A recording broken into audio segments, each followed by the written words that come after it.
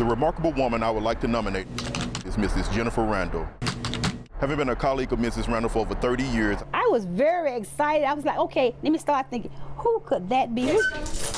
Okay, a container is actually brought in. Jennifer Hawkins Randle was shocked when she found out she'd been nominated as one of the remarkable women of the Mid South. Jennifer runs the clinical laboratory at the Shelby County Health Department. We, as public health practitioners, we have to be concerned about the community itself.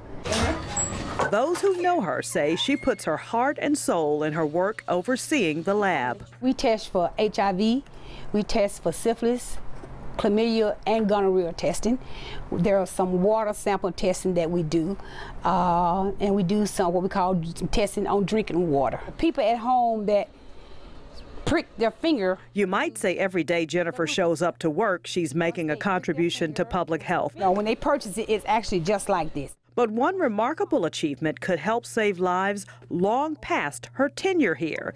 She developed the county's first and only needle disposal program. During my research from 2007, I say 2009, I read a story about a young child in a playground, and he got stuck with a needle. The story was the impetus for her to begin research on needle disposal programs, but an incident at work two years later would be the fuel she needed to light a fire under her idea to start one in Shelby County. Once I accidentally stuck with the needle, I experienced what that family was talking about, the agony of waiting. So when I was stuck with that needle, I felt that agony. And I'm in the healthcare field and I do HIV testing every day. So going through that, I really just jumped on it.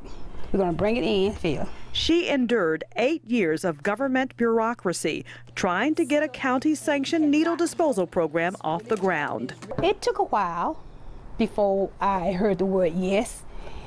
As a matter of fact, it took about 11 times of not hearing the word yes. But Miss Randle actually does deserve this. That tenacity impressed her boss at the time, Stephen Gooch, so much that he nominated her as a remarkable woman.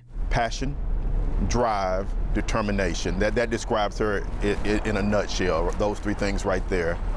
She, she gets her, her, her, her teeth into something and she don't let go until she gets her result.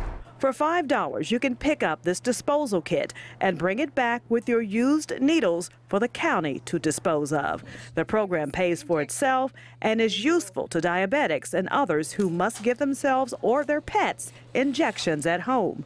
They no longer have to throw used needles in the trash or other places and risk exposing others to needle sticks. It's a low, low percentage of actually catching, you know, HIV from that stick, but you, you don't know that. That's why you go through a certain protocol. They brought it here and paid $5. Jennifer retires this June, but the program that she built will be around for years to come. A program developed out of her own pain and passion for the good of the community she loves. So my goal is that it stays on because it's most definitely a Shelby County program. It's not my program, it's a Shelby County program.